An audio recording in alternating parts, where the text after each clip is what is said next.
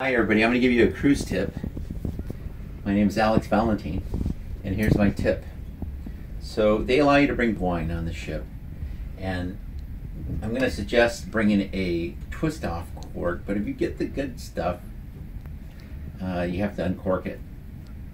My next suggestion is to bring a corkscrew that is strong enough to withstand the pull Unfortunately, this one did not withstand it, and I had to use this flashlight to secure it onto the end and then pull it straight out. And it worked.